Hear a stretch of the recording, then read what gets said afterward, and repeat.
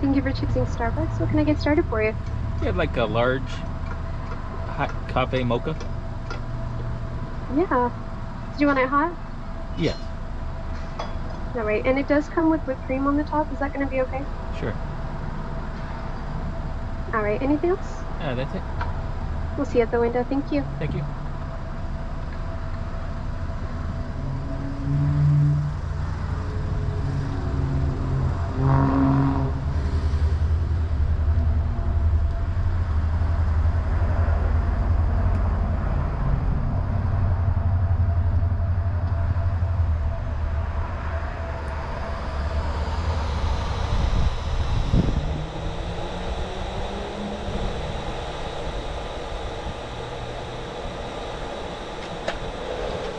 Sir. Drinking hot mocha? Yeah. Mm, six twelve today.